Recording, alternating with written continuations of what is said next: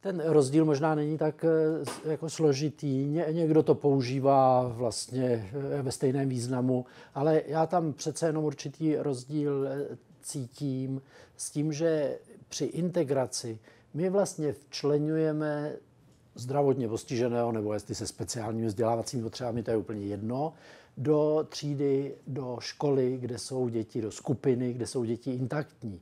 Zatímco při inkluzi tam vycházíme z toho, že každý člověk je jiný, že každý máme tu cestu životem nějakou s tím, že eh, ten, který má nějaké problémy zdravotní, sociální, tak ten mývá tu cestu těžší. Ale jinak, že vlastně nejsou rozdíly mezi dětmi, které jsou zdravotně postižené a těmi dětmi, které třeba momentálně jsou vlastně intaktní. Eh, dokonce a to já teda úplně v plné míře nezdílím, ale vlastně inkluze vychází z toho nejenom, že každý jsme jiný, to sdílím, ale že vlastně jsme všichni stejně cení, to bych ještě taky sdílel, ale potom, že vlastně i některé třeba to postižení je, je dar a že to je, a to já už úplně takhle až ne, ale e, cítíme z toho, z toho přístupu inkluzivního, že vlastně neděláme rozdíly mezi jednotlivými dětmi, mezi jednotlivými dospělými, Jediné rozdíly vycházejí z toho, co potřebujeme. A pokud eh, stanovíme, co třeba i já, který se pokládám za intaktního zatím ještě docela, co já potřebuju, tak potom ten můj život může být plný, hodnotný a tak dále.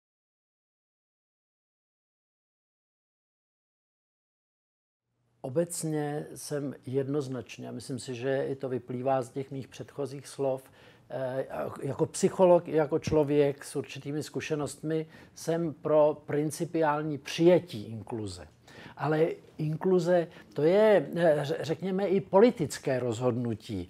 A o tom odborném, to odborné, to je složitější. Tam to není tak jednoznačný. E, takové to prvoplánové, e, co myslím si, že to je ta úroveň naší diskuse, kterou tady v České republice vedeme, je, že inkluze je, že všechny děti budou pod jednou střechou.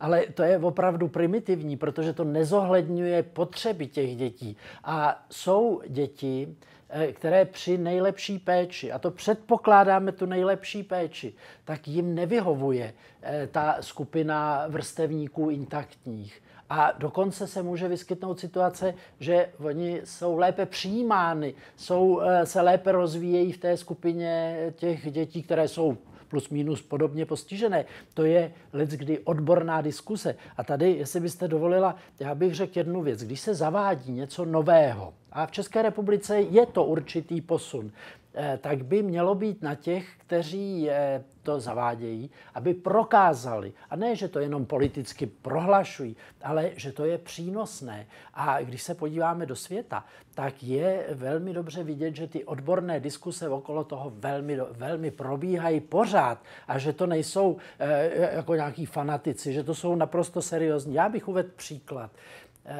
Takové to první, kde se můžeme setkat s tím, že vlastně stát přijal eh, integraci vzdělávání všech dětí, byla Velká Británie. Už v 70. letech Eh, udělali komisi na to, vyšla zpráva eh, Mary Vornokové a stejná Mary Vornoková po 30 letech hodnotí, jak to fakticky všechno probíhá.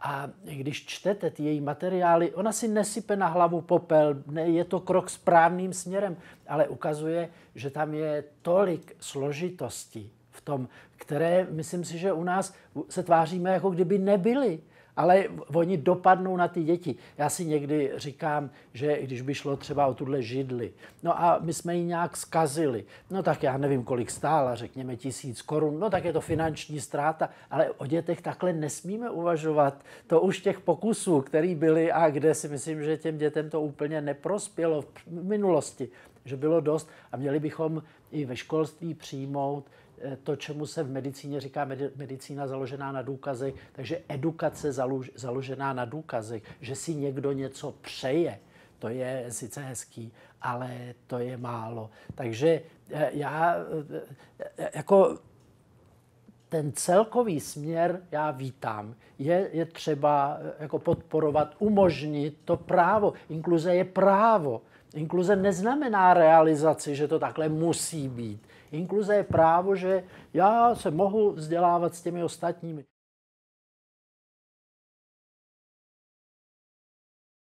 Umím si představit jednu skupinu, kterou i já vnímám jako velmi složitou, a to jsou děti s mentálním postižením. E, protože tam vlastně je postiženo to, kvůli čemu pořád se běžně do školy chodí.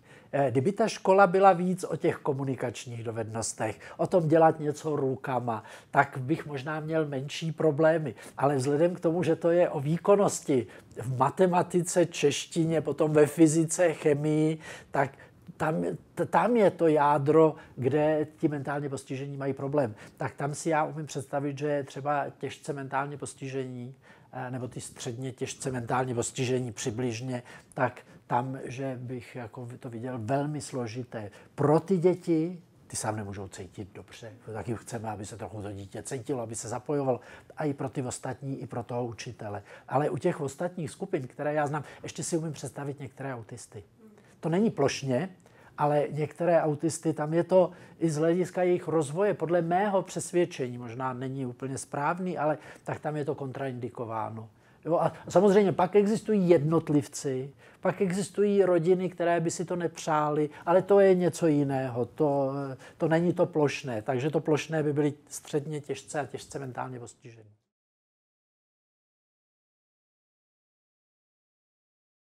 Pro tu eh, úspěšnou integraci je nejdůležitější, aby byli v, tom, v podmínkách té třeba běžné třídy, aby byly naplňovány potřeby toho dítěte, které má speciální vzdělávací potřeby.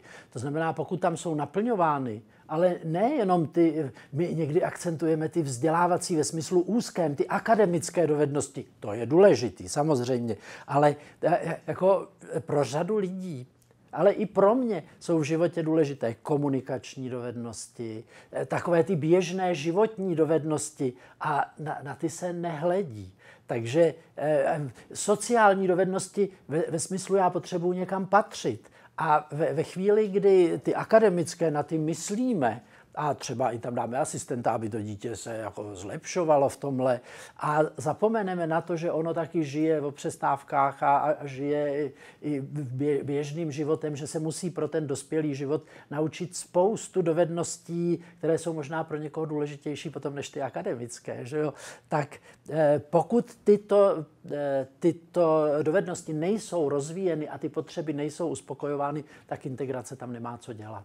Vy můžete říct, no a jestli v té speciální škole jsou uspokojovány všechny, eh, to já taky nemůžu zaručit, ale i v zahraničí to uvádějí, že v té speciální škole přece jenom víc na to myslej a víc podporují i právě ty eh, třeba i rukodělné dovednosti. Netýká se to všech skupin, ale některých dětí, některých skupin se to týká výrazně. Takže v těch speciálních školách podporují tyto eh, rozvoj těchto dovedností cíleněji a víc mají proto lepší podmínky, jsou speciálně eh, vzdělaní. Takže ono to není buď a nebo, je to určité kontinuum, ale pokud dítě nemá uspokojeny ty potřeby, které by si představujeme, že by mělo mít, tak integrace je protismyslná.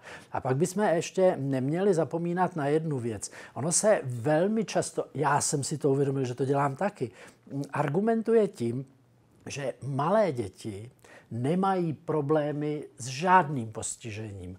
A je to pravda, když člověk to vidí na vlastní oči, jak oni třeba pěkně s postiženým dítětem zacházejí. No jo, ale teď si položme otázku, jestli tohle bude platit v šesté třídě, v sedmé třídě, v osmé třídě, jak ty děti potom už eh, jako stárnou, tak jestli je to stejné. A tam eh, jako ti, kteří se tím zabývají, tak vyslovují podezření, že potom už to takhle nefunguje. Že bychom měli velmi opatrně tohle posuzovat. No jo, ale my nemůžeme eh, přece ně, něco rozjet, aby se nám to potom zkazilo.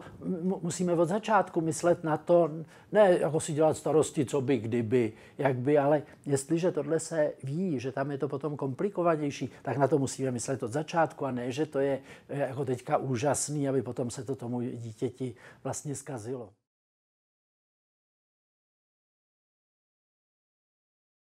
Těch okolností, které zkomplikují přijetí jakéhokoliv dítěte nebo jeho optimální rozvoj, je, je víc. Eh, já ne, nechci říct, že si někdy nemusí sednout dítě s učitelem, protože to je až třeba na konci, ale může to tak být. Zatímco eh, my budeme, můžeme spolu, spolupracovat, přestože si nemusíme být sympatičtí, ale spojuje nás něco, nějaký cíl, tak eh, u dítěte někdy stačí maličkost a ono to nefunguje. Vrstevníci. Když vidím, kolik dětí je nešťastný třeba z toho, že tam nemá kamaráda, nebo má pocit, že nemá kamaráda, nebo nemá tu nejlepší kamarádku, zatímco ty ostatní mají tu nejlepší kamarádku, tak zase tohle je pro dítě strašně, strašně důležitý. důležitý. Eh, někdy to mohou být rodiče, eh, kteří zkomplikují tomu dítěti i třeba nevědomky to přijetí do té třídy a jeho, jeho fungování. Mají třeba jiná, jiná očekávání a ta škola to naplňuje jinak a ne, nevykomunikovali to tak, aby mohli zprostředkovat dítěti tomu to pozitivní. Že jo? Eh, samozřejmě eh, umíme si představit, že eh, i mezi učiteli jsou osobnosti, které, které bychom někdy tam úplně jako neviděli radši. Samozřejmě i mezi nimi, mezi odborníky, teďka bych nemluvil jenom o učitelích, jsou lidé, kteří vycházejí z poznatků 30 let, 50 let, 80 let starých a nesledují to, co mají uložené v zákoně, že oni by měli sledovat, jak se ty disciplíny, které jsou relevantní pro výkon jejich povolání, to znamená pedagogika, psychologie, speciální pedagogika, sociologie, jak se ty poznatky rozvíjejí a oni se rozvíjejí. Takže eh, teď jsem, než jste přišli, tak zrovna jsem eh, dostal otázku, na kterou budou odpovídat Eh, jestli je jako vhodné, aby paní učitelka třeba řekla dítěti, teď ti dám štyrku, eh, ona to není na štyrku, ale já ti radši dám štyrku, nebo řekne to rodičům, aby tě to povzbudilo. To neodpovídá žádným poznatkům, které ta psychologie má. To si ta paní učitelka, já to taky znám, to se říkalo za nás taky. No, známe to všichni to si ta paní učitelka eh, jako vymyslela. To není úplně korektní. Takže těch příčin je strašně moc. Někdy to může být eh, třeba zhoršený zdravotní stav, že jo? Já, já můžu dostat dvě chřipky za sebou a vypadnu z té třídy, vypadnu z nějakého rytmu. Takže eh, to je, to, tohle vyžaduje vždycky důkladné pro, proskoumání, ale na druhé straně Eh, my na to stejně někdy úplně nepřijdeme, čím to vlastně je, že to nefunguje. Proto já bych eh, té diagnostice, tomu porozumění bych věnoval eh, úsilí, nedá se nic jiného dělat, ale na druhé straně já bych víc věnoval na to, jako zlepšovat ty podmínky. S tím, že nevím přesně kde, ale řekl bych i zkusmo. Eh, zatímco, eh, když bychom, když bychom byli v medicíně a já bych eh, vám dával nějaký prášek, mohu vám ublížit. Ale tady, jestli budu posilovat třeba vztahy se spolužáky, tak byť to třeba nepomůže, tak to neublíží. Je, jestli budu já zlepšovat svůj vztah jako učitele, k vám, jako k žákovi, tak to možná nepomůže, ale přestože se ví, že to je velmi důležitý, ale určitě to neublíží. Takže řekl bych, že my na rozdíl od medicíny máme tu výhodu, že mm, i, i když třeba děláme zkusmo něco, tak s největší pravděpodobností to neohrozí rozvoj toho dítěte. A když to prospěje, když jsme se trefili v něčem, musíme víc těch opatření, nestačí jedno teď už bude ta rodina pracovat a ono se to zlepší. Ne, možná se to vůbec nezlepší. Musíme víc těch eh, okolností se pokusit eh, zlepšovat a když se trefíme, bezvadný, když se netrefíme, určitě se nic hroznýho nestane.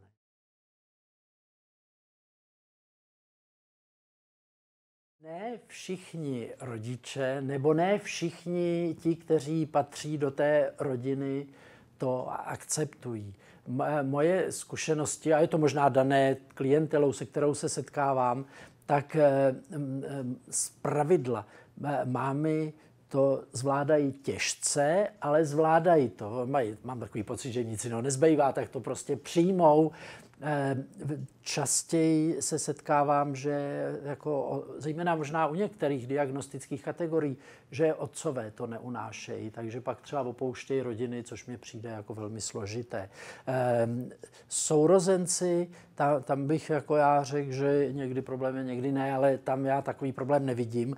Ehm, samozřejmě ještě to další okolí, které nemá, tak teďka myslím prarodiče, nebo to jako ty ty příbuzní, tak tam bych eh, já řekl, že eh, tím, že vlastně eh, oni už svoje děti měli, takže a byly třeba zdravé děti, tak že s tím mají teďka jako problém. Sami už jsou starší, takže už to samo o sobě někdy trošku komplikuje. Samozřejmě trošku to přináší moudrost, ale ne, nehold každému. A trošku to komplikuje přijetí toho, toho dítěte, právě protože ono vyžaduje něco, s čím oni už ještě se nesetkali třeba, a z hlediska uspokojení potřeb. E, mají pocit, že s tím nebudou třeba umět zacházet, tak jsou takový jako rezervovanější a možná někdy obtížněji přijímají e, jakékoliv takovéhle, takovéhle dítě.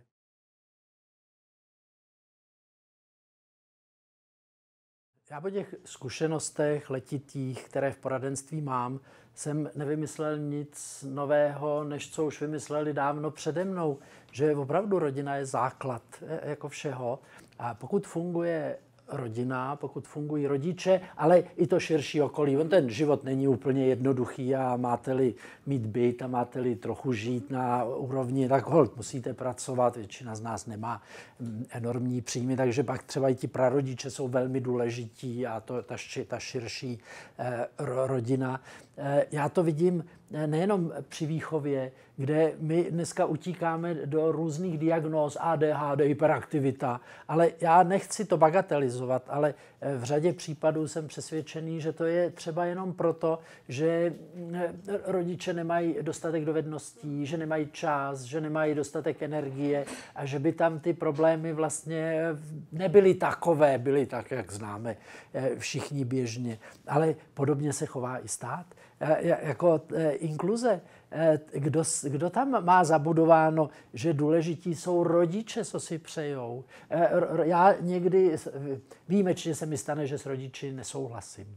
Že já si myslím, že by to mělo být jinak ale musím říct, že respektuju jejich, já jim to i říkám, to je, není moje dítě, já můžu vám říct všechno, co umím, řeknu vám svůj názor na plnou pusu, ale podpořím vás v tom, co vy děláte. To je, to je, to je klíč, protože, hledajte, my se tady vidíme dvě hodiny, jim říkám, nebo hodinu, ale vy to dítě budete mít furt, takže vy jste zodpovědní. Já jim řeknu, co si myslím, kde by mohl být problém, ale rozhodnout se musí oni. Takže já tím chci říct, že eh, rodiče je klíč. Eh, oni moudří odborníci ve školách, v poradnách, lékaři, oni to moc dobře vědí a vlastně někdy se těmi rodiči necháváme vést. Oni to svým způsobem všechno vědí jenom nemají dostatek třeba toho, těch souvislostí, si neuvědomují, nemají eh, dostatek odborných podkladů. Od toho jsme my třeba, abychom jim to vrátili v této podobě, ale eh, říkají to i moudří doktoři.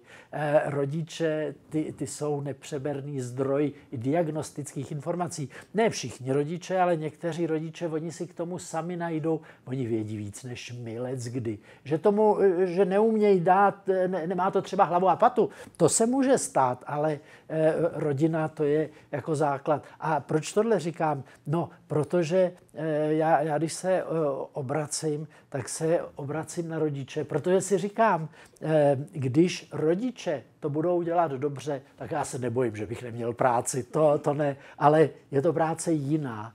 Jo, když, to, když ty rodiče nemají třeba někdy základní znalosti, protože my jim je neřekneme. My jsme povýšení nad rodiče, protože to jsou lajci, kdežto my jsme odborníci přece, že jo. Takže my jim to nebudeme vykládat, oni tomu stejně neporozumějí. Tak si sami přiděláváme práci, protože oni potom chodí let kdy s takovýma banalitama, který by mávnutím ruky vyřešili doma jednodušejc. Takže ano, eh, to, na co jste se zeptala, odpovídám, rodina je pro mě, pro mě klíč.